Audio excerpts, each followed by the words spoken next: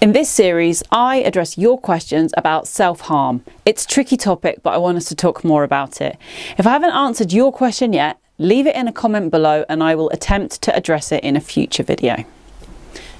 Sam asked whether drug and alcohol abuse count as self harm, and it really depends. So, different people have different opinions on this. When I'm teaching about self harm, then I try to think of self harm in the broadest possible sense. So, I would think about things like drug abuse, alcohol abuse, binge eating, anything essentially where someone is engaging in an unhealthy means of coping uh, would be something that I would consider self harm. When you are engaging in, in an activity that does you harm or has the potential to harm you because you need to use that as a means of, coping, of managing, of dealing with difficult emotions.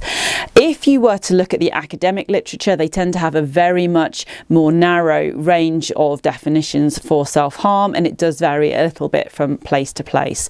Um, but in terms of when we're looking at how we can support children and young people, then lots and lots of the methods that we would use to support someone who was perhaps um, injuring themselves, so through a more common means of self harm, like cutting, for example.